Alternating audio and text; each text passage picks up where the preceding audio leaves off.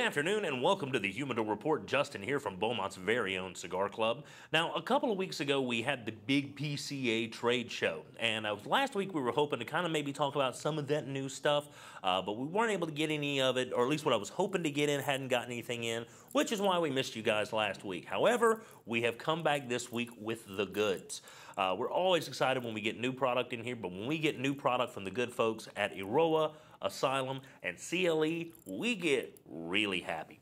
And what we've got here, this is the latest offering in the CLE line. Uh, this is a Honduran grown Cameroon.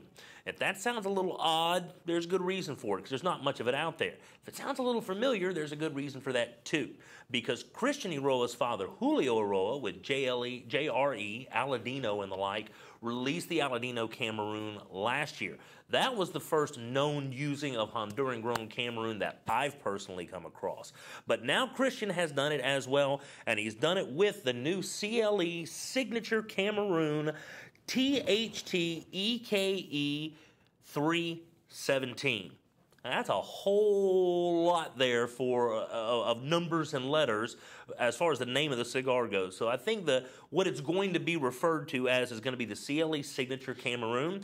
But that THTEKE 317 that you see there, uh, they're not disclosing what that means. Uh, Christian has said that maybe he will discuss that at some point, but as of right now, mum's the word on whatever that letter and number designation is for these cigars. Now, to give you a look at them here, we've got brand new fresh boxes just came in today. Let you get a good look at the sticks themselves. And you can see that big fancy weird designation that they have there on the top of the box. Again, don't know what that means, uh, but hopefully we'll get some light shed on that before too long. Now, as far as the cigar itself, there is some mystery going on there as well. Uh, being that we've already talked about that Honduran grown Cameroon wrapper, we know what the wrapper is, but that's all we know. There is no information being released right now on the blend nor on the binder. So it is kind of what it is, but thinking back to that Aladino Cameroon was very different. Uh, whether it was the different growing locale for that tobacco or whether it was the blend that Julio put together for that cigar, it definitely was a standout Cameroon. Not your typical mild, easygoing blend sporting a Cameroon wrapper. If you want to think to Arturo Fuente's core line, if you want to think to Red Dot Cohiba, uh, that's where you, the, the strength and flavor profile for a Cameroon usually falls. Uh, so Julio definitely turned it up a notch. Being that the Eiroas are the kings of Corojo, I find it highly improbable that there is not a good amount of Eiroa Corojo in here. It's definitely the signature leaf, the signature flavor note amongst their lines. Uh, so I would be absolutely dumbfounded were there not any Corojo in this blend. But as you can see, all three boxes still have the ribbons on them there. Uh, so we have literally just pulled these out of the case, uh, and we have not even smoked them yet. So they literally just arrived here this afternoon.